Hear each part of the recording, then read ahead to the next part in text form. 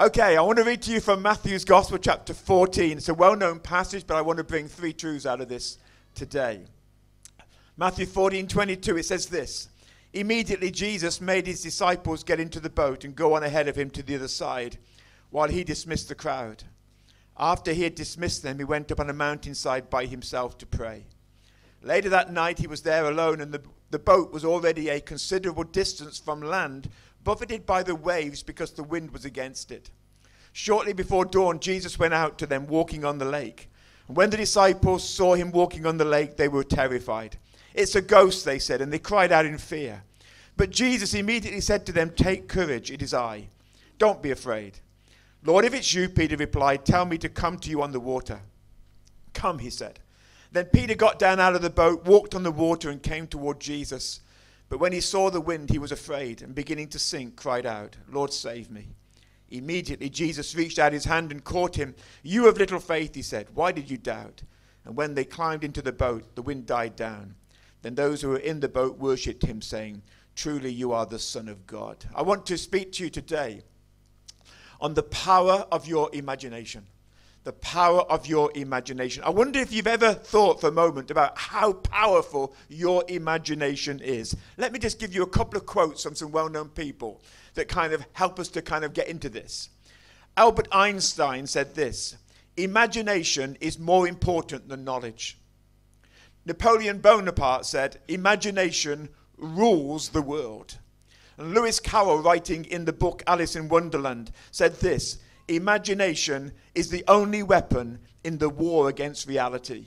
And then Mark Twain said this reality can be beaten with enough imagination. Now, there's three things from this passage I want to bring out to you today. And the first thing is this to say that your imagination can make your reality redundant. I want us to enter the passage. When you read the Bible, don't just read the Bible, enter the Bible.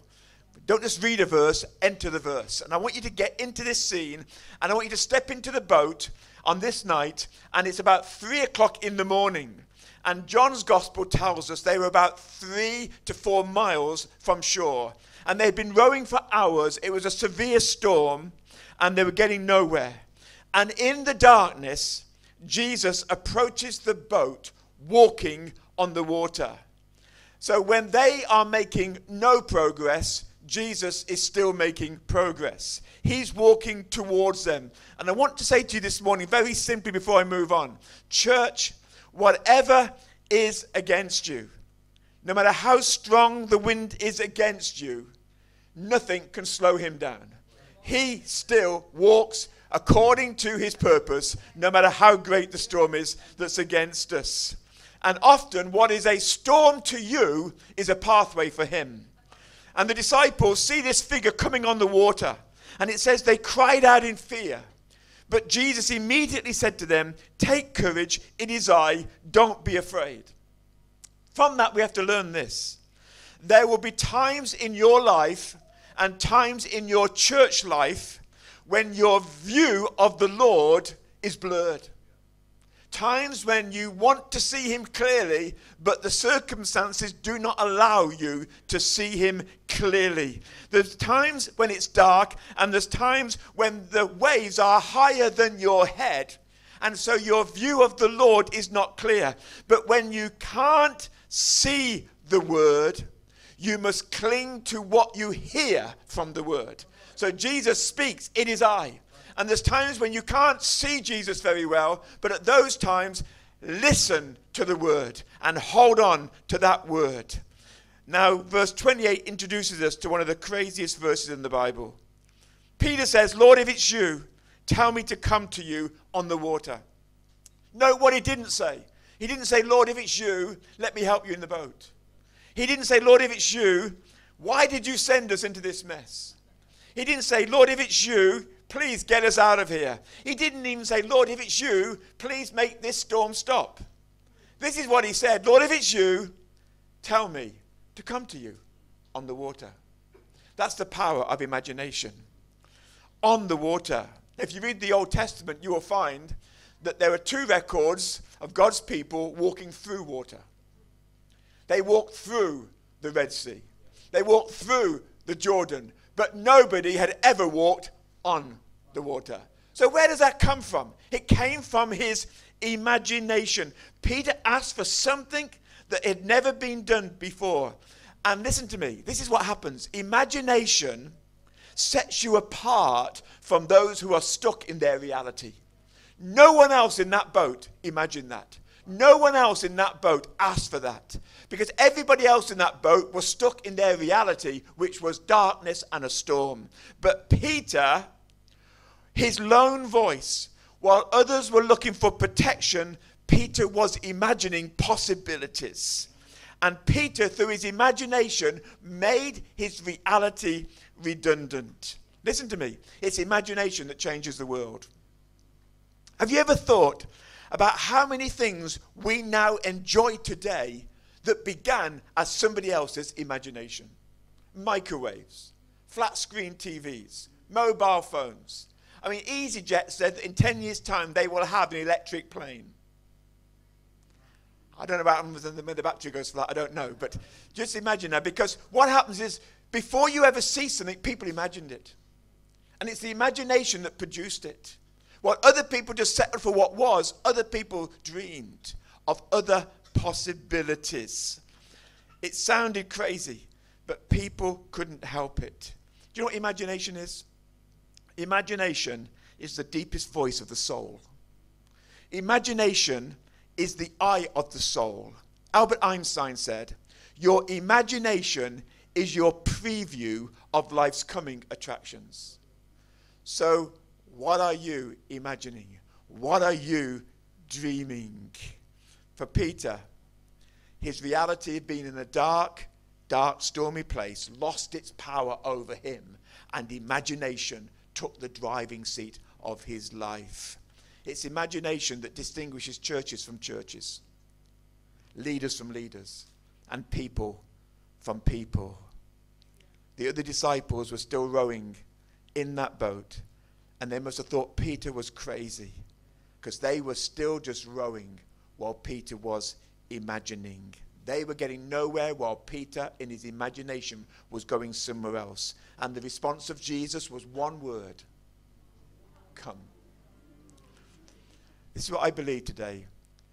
God will not give you permission for something you can't imagine. Do you remember the woman with the issue of blood in Mark chapter 5? This is what it says about her. She thought in her mind. She thought in her mind, if I can just touch him. So, in other words, she touched him before she touched him. She imagined touching him before she touched him. If she hadn't imagined touching him, she would not have touched him. If Peter had not imagined walking on water, he would not have walked on water. And the Bible says this in Psalm 37, verse 4 Delight yourself in the Lord, and he will give you the desires or the imaginations of your heart. And Mark's gospel says a very important thing. It says Jesus was about to pass them by, but he didn't. Why didn't Jesus pass them by? Because somebody with imagination called out to him. If Peter had not called, the Bible says Jesus would have passed them by. you. Let me ask you a question. How many times does Jesus pass by churches? Because they don't have imagination. How many times does Jesus pass by Christian believers because they're too obsessed with their current reality to imagine that something greater could be?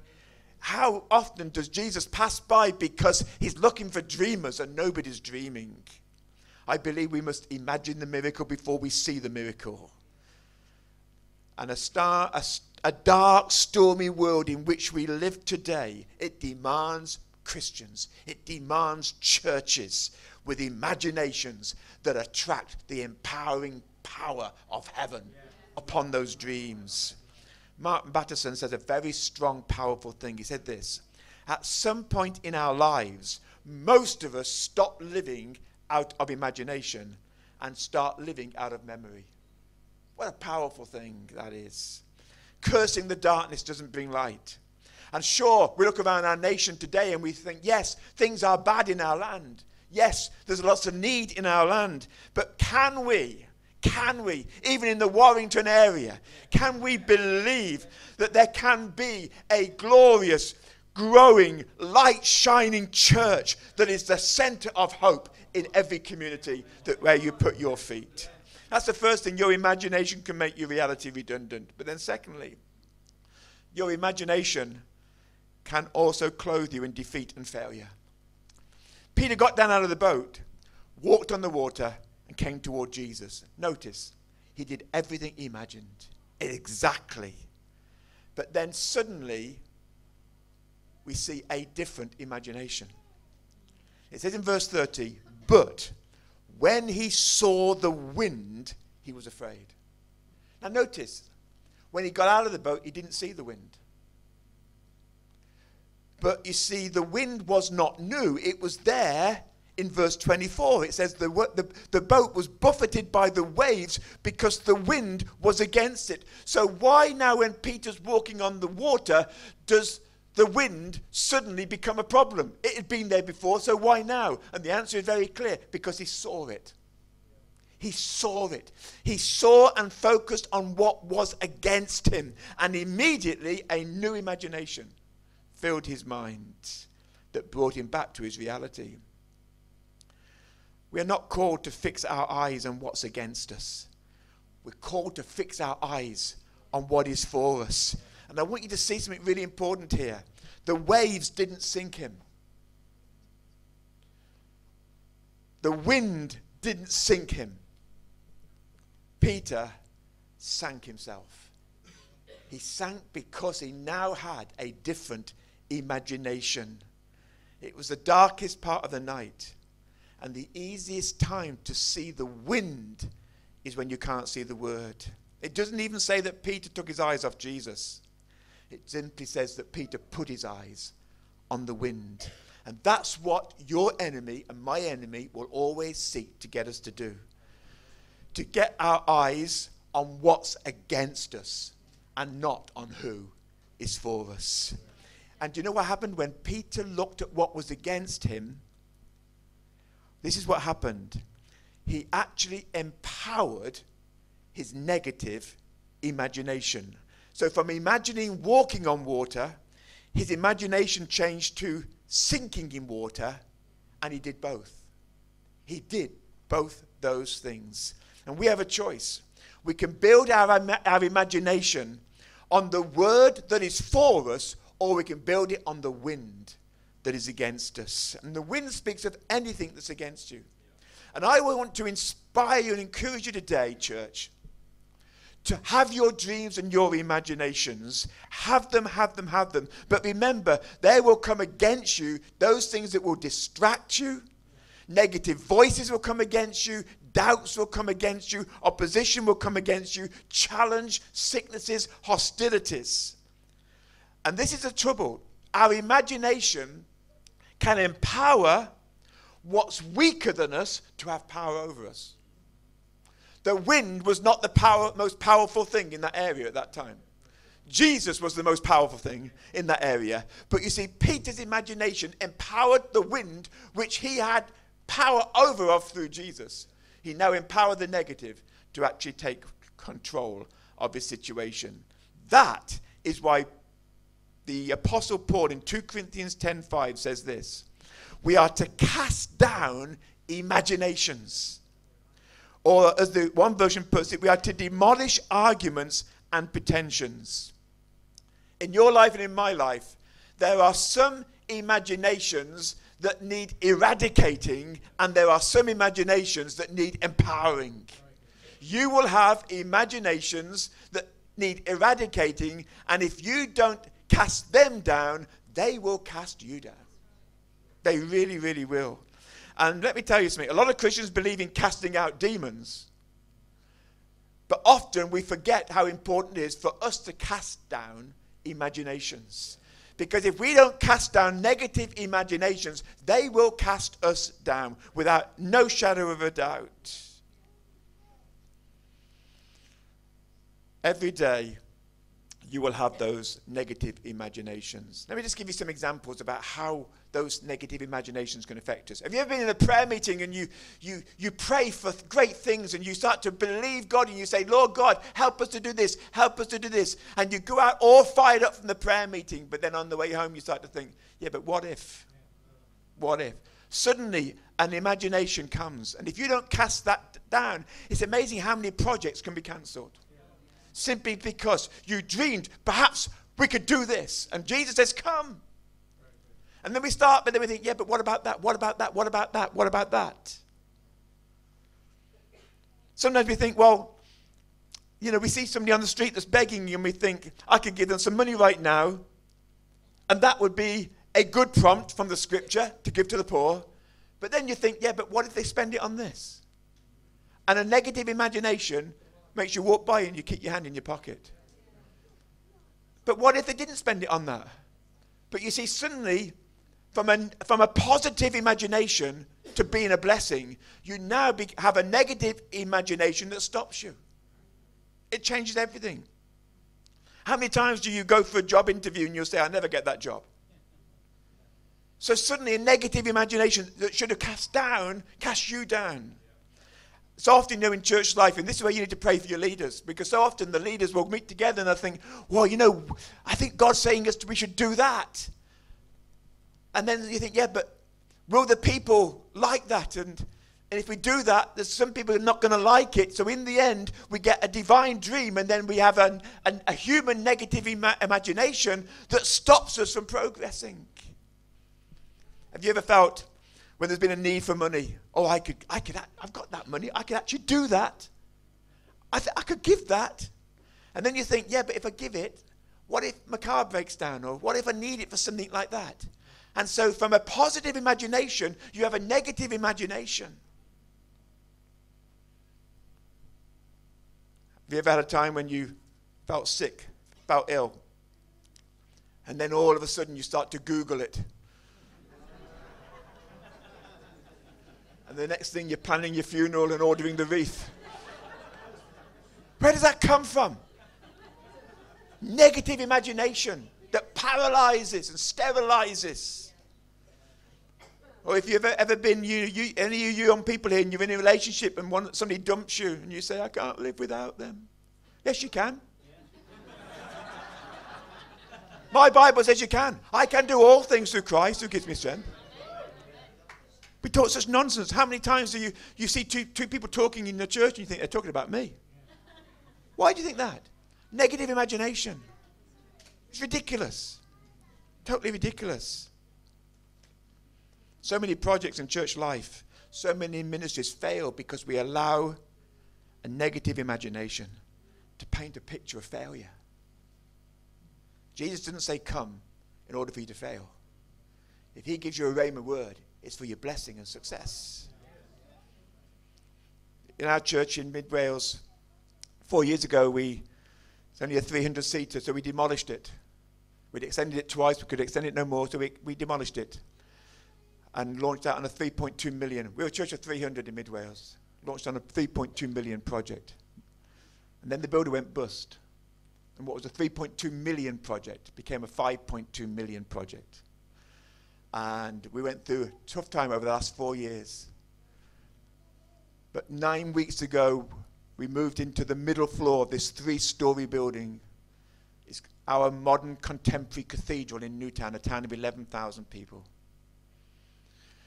And in those last four years, God has provided us with 4.3 million pounds we only need 900,000 to get the top floor and the bottom floor finished. But we now have a 600 seat auditorium and 120 seat coffee bar, and it's just beautiful. Where did it all start? Imagination. And even when the builder went bust, we still saw it finished in our minds because this was that dream that God said, Go for it, go for it, go for it. We are the only provider of nursing care in our town. We are the only provider of care for people with dementia and Alzheimer's. Because 17 years ago, we had a dream. What if we as a church could actually provide a nursing home for this town? because there was no nursing home. People had to go to Chester or Shrewsbury, nursing care. What if we as a church could do that? And so, by God's grace, we raised two and a half million pounds for a 40 bedded nursing home. It's been open and packed full for the last 17 years. Many have had their last days in that home.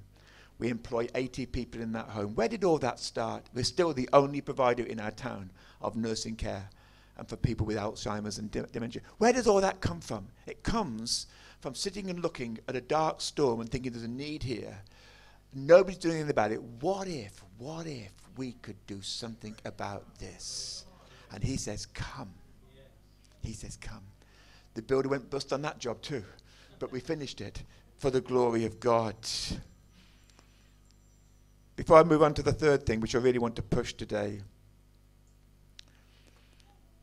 never forget that Jesus walks on top of that which threatens you. And Jesus walks on top of every storm that comes against you. The third thing I want you to see is this your imagination can frame your greatest prayers. Ephesians 3:20 says this, now to him who is able to do immeasurably more than all we ask or imagine according to his power that is at work within us. Paul, Peter imagined walking on water and God made it possible. Now listen to me. God will not say yes to every imagination you have. God will not say yes to every prayer that you pray. And there's a good reason for that because God has wisdom much higher than ours. But this is the point of this text. This is what God is teaching us there that no prayer we ever pray can be too big for God. That's the point. You know, five years ago, Newtown was a ghost town. Our town was a ghost town five years ago. The shops were empty everywhere. There was massive financial need in the town. Factories were closing and moving out. So, what did we do as a church? As a church, we called the town to pray. We wrote to the, all the politicians and we hired the high school and we just said, we need to pray for our town. And so the police came, social services came, school heads came, politicians came. They didn't really know what they were coming to, but we, we laid hands on every single one of them. We laid hands on the MP. We laid hands on the AM in the Welsh Assembly government. We laid hands on the social workers. We laid hands on, on business leaders. About 400 Christians gathered to pray for the town five years ago. Do you know what? Since that moment, since that moment, the police say crime figures have gone down. In that, since that moment, shops have been filled, businesses have come into the town. It's changed the whole area of our town because of prayer. In fact, the mayor of our town is in our church today. The deputy mayor of our town is a church member in our place, both mayor and deputy mayor. We have an assembly member in the Welsh Assembly. We have five people on local and the Powys County Council. Things have changed. Christians have become governors in schools. You see, we prayed. Can God do something about a town that's been mocked on YouTube as being called a, go- a ghost town? Is God able to do is he able to do exceedingly abundantly above all? Yes, he is. Our imagination can frame our greatest prayers. Can I just encourage you with this? When I, we were growing up, I'm, I'm the oldest of three brothers, and grew up in a, in a Christian church like this in Kearsley. And when we were, we, were, we were dragged to church from being babies, and when we were kind of growing up as three boys, two ginger headed and one brown ones, I don't know where his hair come from, but we had two gingers. Uh, actually, I'd, I'd, be very grateful for some ginger hair now if I could actually get some. But, but when our parents used to take us out to church houses for meals, we got grilled before we went in. Because we were kind of, we, uh, we were always scrapping as, as brothers, we were. We all saw this. Now listen, when you're offered a biscuit, take one. Just one. So we would sit there and look at these chocolate biscuits or whatever. And uh, if we'd have had our own way, we'd have snatched the lot. But we just had to take one biscuit and be very good so that when we got out, we wouldn't get a right telling off. Do you know what? Sometimes I think as Christians, we act like one biscuit Christians. So we come to the banqueting table as if God says, Take one only. Don't take too many. Well, I tell you today, when it comes now to the banqueting table of our God, I'm a grabber. I believe God wants five biscuit kids and 10 biscuit kids and 20 biscuit kids because He says this whatever you pray for, whatever you imagine, He is able to do even greater than you can think or even imagine. Good manners aren't necessary at God's table. Come boldly to the throne of grace. Come with great confidence to ask. Do you know what our problem is as Christians? We don't ask for enough. We ask for small things. So often we boldly pray for little things. So often we, we look at the storm and not the throne. And we allow our reality to determine our faith level. And I want to challenge you. When was the last time you prayed from your imagination? When was the last time you prayed from your imagination, not your circumstances? For example, you may have witnessed to your family and, and they, they just haven't come along to the meetings. Or you may have invited them to come at Christmas and they haven't yet come. And so you just simply think, well, they're never going to come. Who says? That's a negative imagination. What if this year they will come? You see, this is the whole thing. Why not? Why can't everyone in your family get saved? Is that too hard for God to do? Can't you imagine your whole family being on your row in church? Or is that too difficult for God? You see, friends, if that is true, that our God is able to do exceedingly abundantly above all that we can ask or even imagine, if that is true, we should be praying bold prayers, big prayers. That huge failure, why can't it be turned into something successful? Why can't we ask God for money? It's only money. It's only money. You know what? This is the amazing thing, you see. The Bible says we have not because we ask not. We have prayed every week in a prayer meeting for the last few years for money. I mean, we had, we had one grant of 160,000 pounds that came from Hong Kong to the middle of Wales. Where does that come from? From, from heaven from heaven. In, in, in June this year, on one occasion, our bank phoned us up and said somebody has just put £100,000 anonymously into your bank account. Well, how did that come from? Three weeks later, £75,000 anonymously into the bank account. Where did that come from? Let me tell you something. If we'd had no imaginations, that money would never have come. But when we start to ask, I believe God gets excited when we start to believe His word. Why can't we ask God to bless every person in business in the local church and prosper them? Why can't we ask for everyone in the church to get increases in their jobs? Why can't we ask? Does the Bible say, listen, don't ask too much?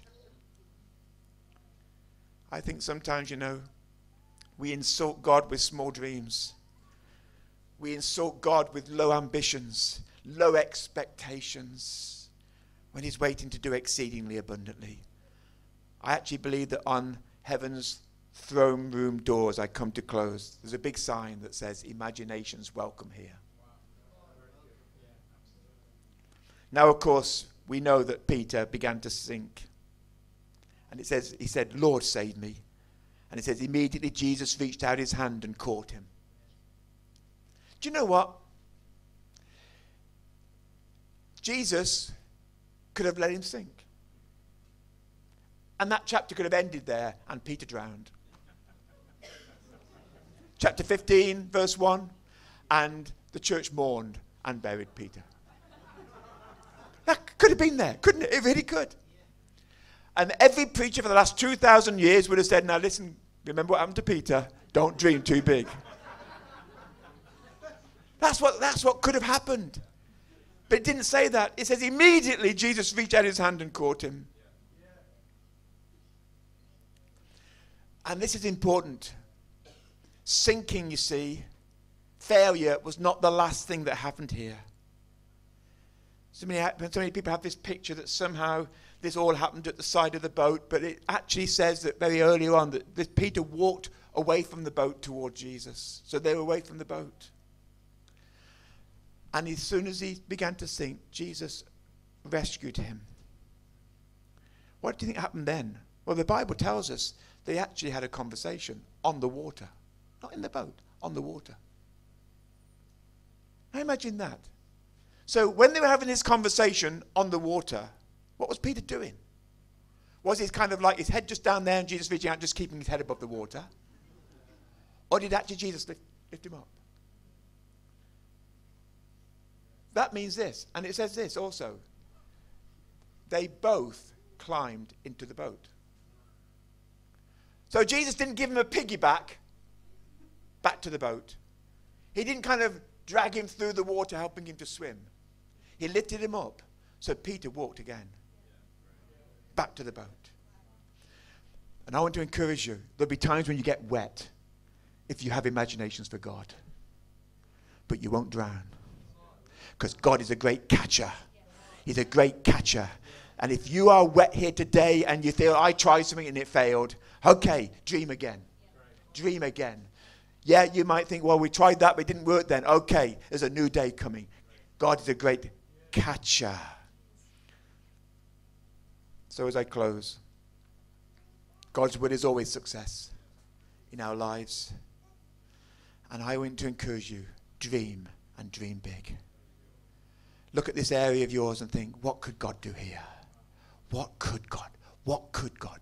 Perhaps God could do this. Perhaps God could do that. Well, two things. If you are one of those people who need to cast down some imaginations that are negative today, cast them down and be free from them. Or if you are someone here today and you've got wet, right, there's somebody here to reach out his hand and catch you and lift you up and restore you so that you'll walk again. May God bless you in Jesus' name.